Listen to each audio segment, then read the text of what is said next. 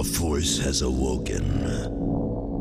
And in its wake, giants, He is vicious.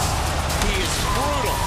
monsters, There's no more dangerous human being than Mark Henry. warriors. He is a human wrecking ball. Now, You will join the Hall of Pain. the world's strongest man's sights are locked on a Viper.